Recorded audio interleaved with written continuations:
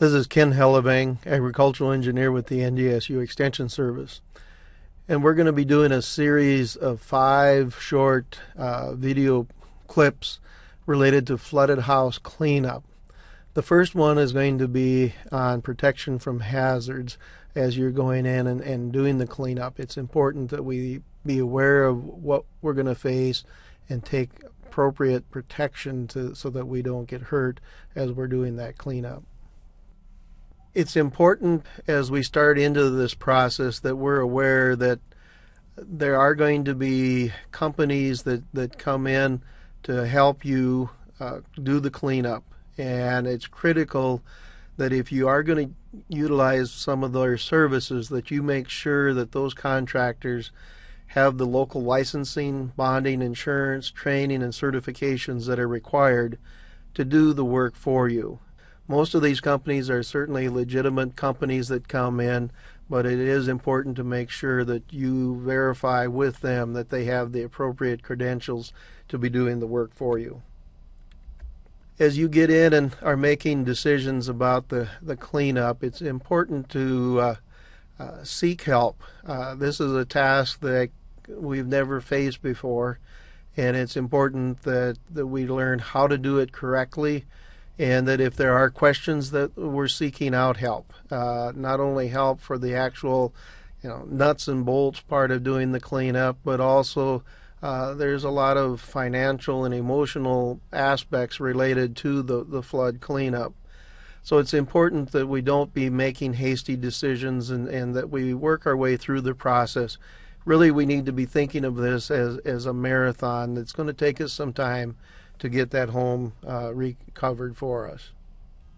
If we don't uh, do the cleanup immediately, it's important that we uh, take steps to try to minimize the amount of damage that will continue to occur in the home. Uh, one of the major issues that, that we're going to be facing is mold growth. That with the moist conditions in the home, in the building, uh, that warm, damp air is going to cause mold to, to grow extensively, it is, as is shown on this right slide. And as we look here, you can see that there uh, is mold that is occurring not only uh, on the lower level where there might have been moisture, but throughout the structure. So it's critical that we try to, to do an, a drying out of the structure as quickly as we can also, uh, when things are still damp, maybe we want to be looking at some major cleaning of some of the mold and muck that will come in as part of that uh, flood event and, and try to move some of that away from the structure uh, as much as we can while it is still wet. But do that initial assessment and determine really what it is that we're going to be uh, tackling first and how we're going to proceed through the cleanup process there's a lot of hazards associated with, with doing a, a cleanup in a home that has been flooded, uh, and I've listed a number of them here. Uh, there's structural issues. We need to make sure that the uh, floor is still uh, sound, that, that it's not going to uh, cave in underneath us as we come into the home. Uh, we need to be concerned about electricity, making sure the electricity is shut off so that we don't get electrical shocks or electrical electrocution. Uh, there's also going to be some issues with related to telephone and cable. Uh, they're both carrying electricity as well, and, and we need to be aware of that uh, concern. Mold is a major health hazard uh, in the home, and we'll be focusing on that quite a bit. There's biological contamination. Uh, we'll have water that will be contaminated with with sewage in many cases, and we need to be making sure that we're protecting ourselves so that we don't uh, end up with health problems because we're working in that flooded home. We have uh, lead dust uh, as a hazard. Uh, lead was used in paint extensively uh, before about 1975 and so it's important that if we're doing removal of, of painted surfaces that uh, were painted before that, that we keep the surface wet and that we're not creating a dust that will create a, a lead hazard. Same thing is true with asbestos. If uh, we have a boiler or some ductwork that is insulated that has asbestos in it, tiles. Uh, again, be aware of that hazard. Make sure that we're using personal protective equipment and keeping that material wet. Uh, carbon dioxide will be an issue, and we'll touch on that. And of course, just the normal cuts and punctures associated with working in these flooded homes. When we're dealing with flood water, uh, they categorize flood water in, in, different categories depending on what was in the water.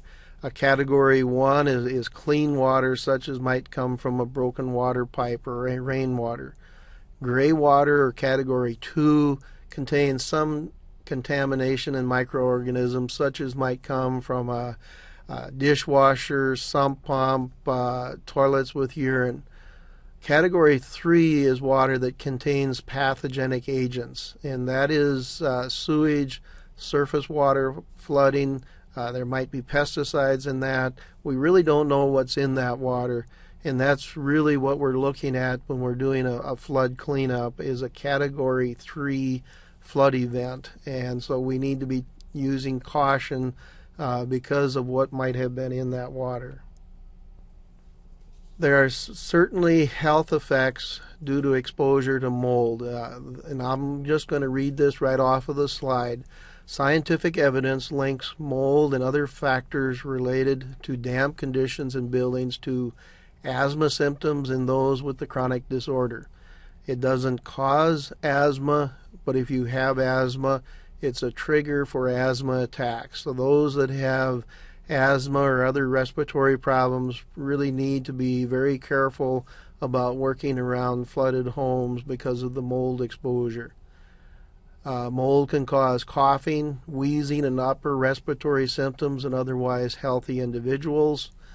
Uh, it can create cause hypersensitivity pneumonitis in susceptible people. Not something we'll typically see. This would be with uh, people who are uh, whose immunity is reduced for some major reason, and then lower respiratory illness in children. And so there are very uh, documented health effects due to working in, in a moldy environment. The World Health Organization has also uh, looked at a number of studies and determined that the evidence is available in different countries uh, that show that occupants of damp or moldy buildings are at re- increased risk of respiratory problems.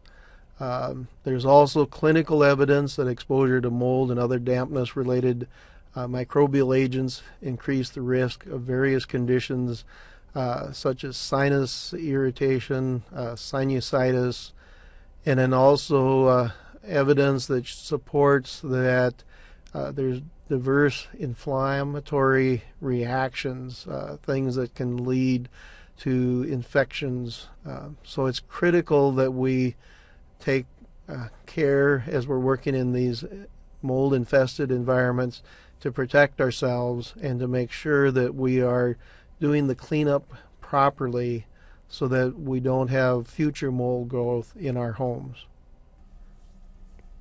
one of the main things that we're going to do to provide protection for us is to wear uh, a respirator or mask. And the minimum that you should look for is on the mask, it should say an N95 rating or a, a HEPA filter or a P or N100, indicating that it's going to be filtering out mold spores.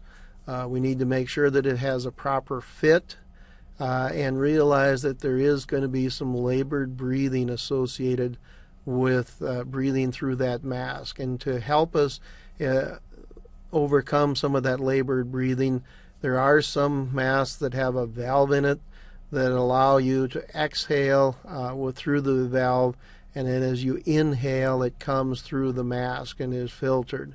And I really strongly encourage you to be using respiratory protection whenever you're doing any of the flood cleanup.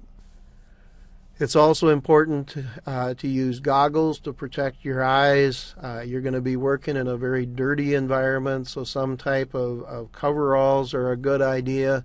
Uh, rubber gloves, uh, so you have protection for your feet, your hands, uh, your whole body is protected as you're working in these homes.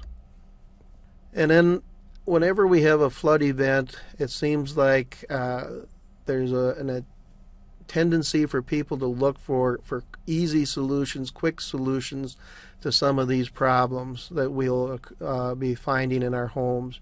And it's important to realize that there's very limited benefit from air cleaners.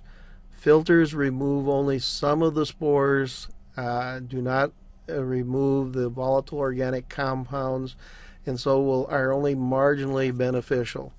Uh, units that produce ozone, uh, many times it's referred to uh, as a, a kind of cleaning the air like rain. Those units are not effective against mold. And now there are hydroxyl units that are somewhat similar. Again, these may be effective, but not in the environment that we'll typically be working in in our homes. Uh, and so be very, very cautious about using any of these. Uh, we really need to focus on thorough cleaning of that home. So this has been that first segment uh, of the flood cleanup uh, presentation, and we'll be looking now at the process or steps that we go through in the next segments.